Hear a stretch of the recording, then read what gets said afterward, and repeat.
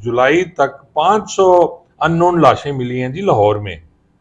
जो मर्डर किए गए या नशाई थे या अब उन्होंने यही करना है उठा के फेंको। जनाब, ये तो एसओपी है, वो कहते हैं हमारी तो भाई एसओपी है, कौन सी एसओपी है, जिसमें आप बेहरमती कर रहे हैं लाशों की? न्यूज़ टुडे की वीडियोस देखने के लिए हमारा चैनल सब्सक्राइब कीजिए और बेल के आइकन पर क्लिक कीजिए, ताकि आप हमारी आने वाली तमाम वीडियो से बाखबर रह सकें। अस्सलाम वालेकुम नाजरीन, मैं आपका मेज़बान मियाँ मोहम्मद आसिफ और आप देख रहे हैं न्यूज़ टुडे। नाजरीन, मुल्तान के निश्तर हॉस्पिटल में लाशों की, इंसानी लाशों की तजलील की गई, डेड बॉडीज की, जिसके बाद हर देखने वाले ने गम गुस्से का इजहार किया। ये वाक्य जो है, ये पुलिस का इसमें कितना करदार है और पुलिस की नाहली कितनी है और मेडिकल डिपार्टमेंट की नाहली कितनी है? इस हवाले से हम जानते हैं हमारे साथ सबक पुलिस ऑफिसर और लाहौर हाई कोर्ट के सीनियर एडवोकेट अजीजुल्ला खान साहब मौजूद हैं। अस्सलाम वालेकुम जी। कैसे हैं खान साहब मुल्तान के निश्तर हॉस्पिटल में छत पर इंसानी लाशों की डेड बॉडीज की तजलील की गई। आप क्या समझते हैं कौन कसूरवार है?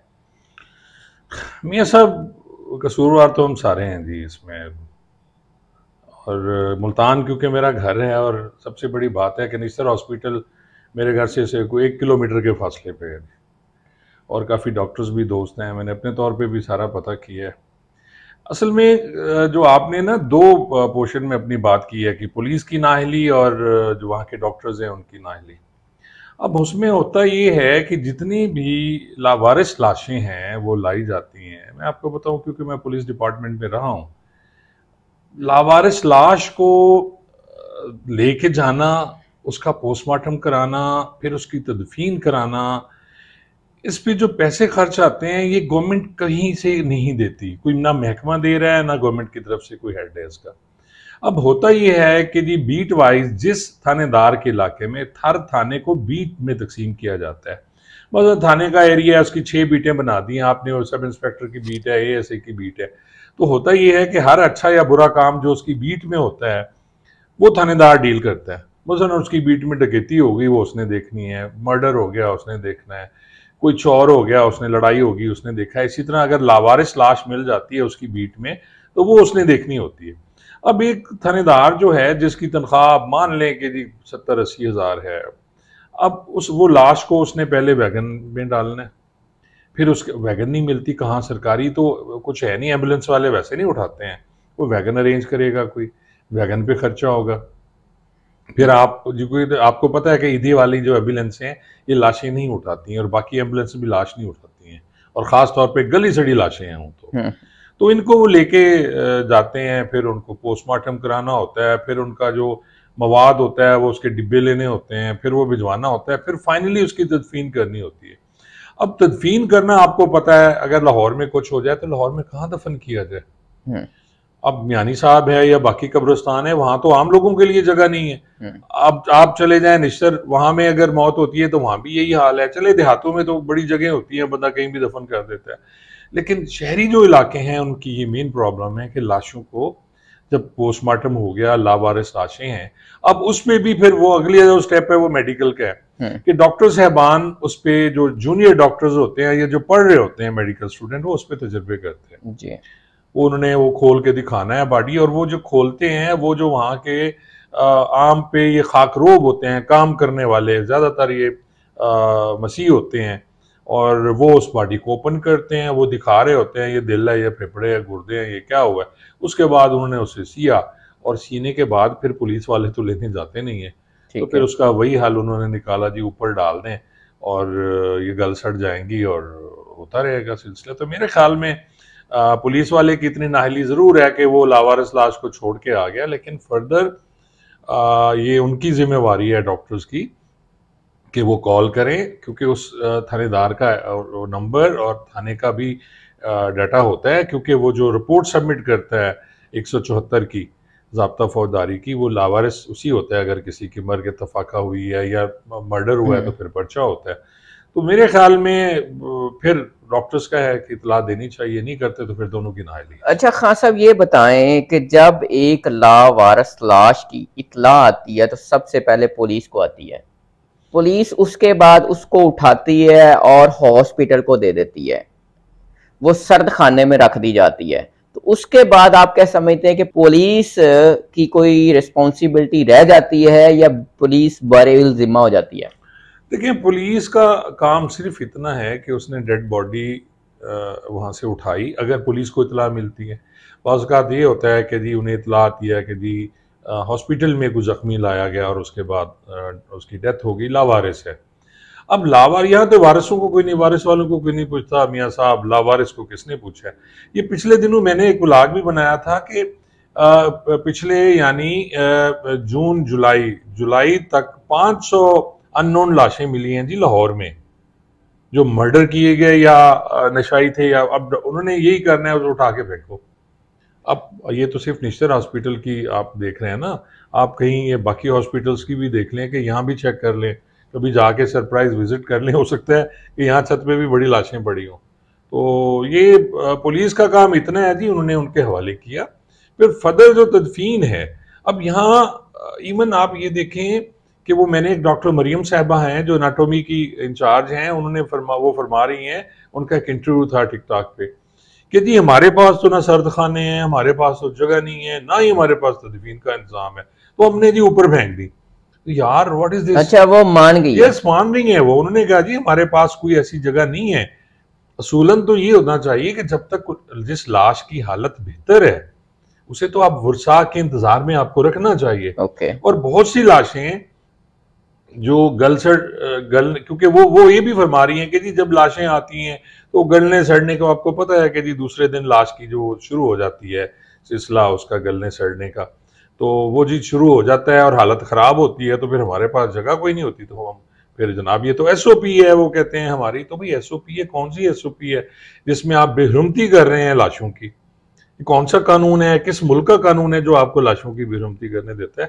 तो यहाँ यहाँ सब कुछ नहीं होना, ये सब, अभी ये बड़ा उठा है, शोर उठा, और मैं तो यकीन देखें, मुझ जैसा इंसान मैंने बड़ी लाशें देखी हैं, अपनी लाइफ में बेतुमार मेरे ख्याल तीन चार सौ मर्डर केसेस मैंने उसकी तफ्तीशें भी की हमने लाशें भी देखी बुरी भी देखी कबर कुशाई भी कराई पर यार इस तरह जिस तरह ये तो नाजियों के वक्त में भी शायद नहीं हुआ होगा कि वो इकट्ठे कब्रों में खोद के वो भी खोद के दफन करते थे और ये पड़े हुए हैं और बाद में कहीं ये भी था कि उनके जी अज़ा बेचे जाते हैं कुछ ये भी कह रहे हैं कुछ कह रहे हैं कि जी इनकी जो हड्डियाँ हैं इनका जो हड्डियाँ पूरा क्योंकि जब वो गल सड़ के बचेगा तो पूरा उसका वो पिंजरा हम्म, हम्म। जो लाश की पूरा ढांचा है ना। तो वो पूरा ढांचा मिलता है उसमें हर चीज़ जुड़ी होगी। तो वो शायद इस तरह भी हड्डियाँ कोई करते हैं कह रहे थे जी बड़ी महँगी बिकती हैं बार तो यहाँ आपको पता है कि बहुत से लोग इस काम कर रहे हैं सारे। अच्छा खान साहब जो मुल्तान निश्तर हॉस्पिटल के इंतजामिया की तरफ़ से कुछ बात सामने आई कि जो खबर चल रही है ये इस तरह वाक़ नहीं है? खबर को कुछ शायद हाइप दे के चलाया गया ये उनका पॉइंट ऑफ़ व्यू जैसे आज आप कह रहे हैं कि उनकी एक ले डॉक्टर है, उन्होंने मान लिया कि ऐसा है। इस वाक्य के बाद आपका गमो गुस्सा, क्योंकि आप पुलिस ऑफिसर भी रहे हैं और अब लाहौर हाई कोर्ट के सीनियर एडवोकेट भी हैं, आपको क्या लगता है कि आपका क्या तासरात है और दूसरा इस पे कार्रवाई क्या हो सकती है? देखिए, ये इसमें है ऑफेंस है बाकायदा, अगर लाश की बेरुमती की जाती है और किसी भी लाश की और इवन कबर खोदी जाती है तो उस पर कोई ऑफेंस है मेरे जहन में इस वक्त नहीं आ रहा। लेकिन पीपीसी में ये मौजूद है कि भी इस तरह कब्रिस्तान की बेहरमती है लाशों की बेहरमती है तो इन पर ये पर्चा होना चाहिए। और लेकिन वो अब बात वही आ गई कि कुछ मैं आज देख रहा था कि जी मुस्लिम लीग नून की वो है अजमा बुखारी साहबा वो इस पर अपनी सियासत कर रही थी कि जी इस गवर्नमेंट में हुआ है अभी आपकी गवर्नमेंट भी तो रही है ना कुछ अर्सा पहले। हम्म। और ये पता नहीं कब से हो रहा है। ये तो कोई साफी अच्छा था अब जैसा कोई जाबाज किस्म का साफी वो पहुँच गया और उसने वो देख ली। तो करके तो उन्होंने कहा जी ऊपर तो वो जाने का किसी को होता ही नहीं है हाँ। सर ऊपर तो ताले लगे होते हैं। तो यार व्हाट इज़ दिस नॉनसेंस किस चीज़ के ताले लगे होते हैं? वैसे ये इंक्वायरी होगी पता नहीं क्या होगा जी वो सारे डॉक्टर्स अगर किसी को गुनागार लिख दिया तो फिर डॉक्टर्स हमारे भाई हैं उन्होंने हड़ताल कर देनी है। और फिर हुकूमत ने फिर खामोशी हो जाना है। तो वो हो गई हो गई। अब लेकिन बदकिस्मती सर ये है मियाँ साहब कि जिसके वो भाई थे, जिसका बाप था, जिसका बेटा था, वो किस कंडीशन में अंदाज़ा लगा लें आप कि किस कंडीशन में वो लाशें एक कमरे में ढेर पड़ी हुई हैं और उन पर तफन उनसे आ रहा है। बाहर बाहर पड़ी हुई हैं यार, उस पर छत पे ओपन पड़ी हुई हैं। वो डॉक्टर साहब वो फरमा रही हैं कि हम कमरे में बंद रखते हैं अंदर। ताकि वो प्रोसेस एक पूरा हो जाए। मैं मैं तो हैरान हूँ कि उनके इस बयान पे उनके खिलाफ कार्रवाई होनी चाहिए। अच्छा खान साहब ये बताइएगा आप चूँकि इस सर्विस में रहे हैं पुलिस ऑफिसर रहे हैं जब लावारस लाश आती है उसके बाद आपका जो पुलिस डिपार्टमेंट है वो हॉस्पिटल के स्पुर्द कर देता है। तो कहीं इससे पहले भी आपने देखा है कि लाशों की बेहरमती हुई? जी होती है जी। अगर आप देखा जाए तो जब आप लाश उठा रहे होते हैं और वो बुरी कंडीशन में होती है तो फिर हुरमत और बेहरमती तो यहाँ सब रह नहीं जाती हम्म, हम्म। कि कटी पटी लाश है जली लाश है या इवन अगर किसी ने खुदकशी की है तो ट्रेन के नीचे कर ली है तो उसकी कंडीशन आप देख लें कि वो क्या उसकी हालत होती है तो फिर वो टुकड़े इकट्ठे करके रखना सारा हुरमत बेहरमती तो फिर वहाँ रह नहीं जाती है हाँ फिर आप वो पड़ी हुई है फिर वैगन नहीं मिल रही फिर वैगन वाला लेके नहीं जा रहा। क्योंकि कोई ऐसा सिस्टम नहीं है यार कि जी इतने बड़े मुल्क में मियाँ साहब कि कुछ ऐसा सिस्टम हो जिसमें लाशों का वो कर लें कि जी तहसील लेवल पे एक जो एक एंबुलेंस ऐसी हो या गाड़ी ऐसी हो जो वक्फ की जाए कि जी जिस थाने में मसलन एक सर्कल में तहसील में छः थाने हैं तो एक गाड़ी कर दें जिसमें लावारिस नाच मिशेगी जा, वो जाएगी मिल जाएगी। उसको उठाएँ उसको डालें प्रॉपर तरीके से। और फिर उसके कफन दफन का कोई अरेंज कर लें या कुछ दे दें। आप कुछ मुखैर हजरात करते हैं बाकी आप देख लें कि वो छिपा वाले हैं ईदी वाले हैं कितने लोगों की आप उनकी भी कहानियाँ सुन लें। तो वो कहते हैं जी हमने इतनी दफन की। और एक मैं एक और बयान भी सुन रहा था उन्होंने कहा जी इन लावारिस लाशों के लिए कोई अलहदा जगह वक्फ कर दें जहाँ हम्म। पे पता हो कि जी ये लाश फलां जगह से मिली है और ये उस उस जगह पे टैग लगा हुआ है या नाम लिखा हुआ है, उसका कोई नंबर होना चाहिए। लोगों को अपने प्यारों को, अजीज़ों को ढूँढने में भी प्रॉब्लम होती है कि जी वो दफन किधर है, उनका पता ही नहीं है।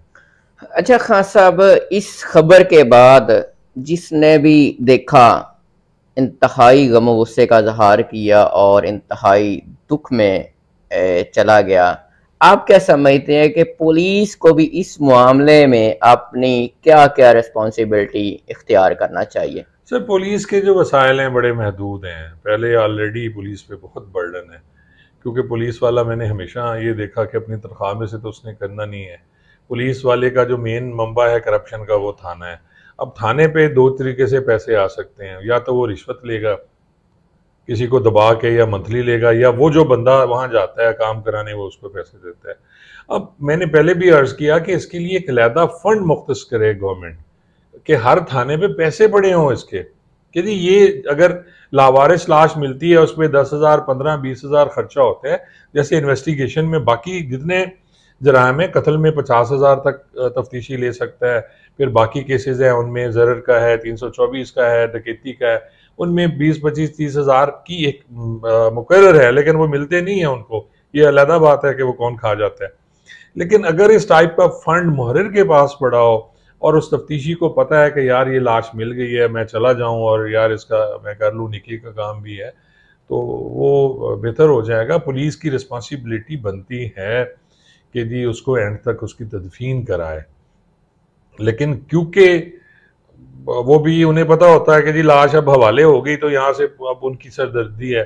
डॉक्टर्स की है, हॉस्पिटल वालों की है तो हॉस्पिटल वाले फिर आगे अल्लाह पे छोड़ के ऊपर फेंक देते हैं। खान साहब, आप पुलिस ऑफिसर भी रहे, सीनियर एडवोकेट हाई कोर्ट भी हैं, हुकूमत ने अनाउंस भी किया, एक्शन भी लिया, इंक्वायरी शुरू हो गई। आप क्या समझते हैं कि जिम्मेदारों को अगर ये सच हुआ तो जिम्मेदारों को सज़ा होगी?